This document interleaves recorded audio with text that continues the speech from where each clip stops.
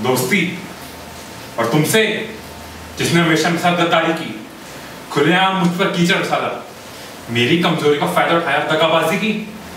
तुमने क्या नहीं किया? जगह जगह तुमके फसाद कराए गरीबों की झोपड़ियों में लगाने घर से बेघर कर दिया। क्यों? क्यों तुमने कहीं की वसूली की?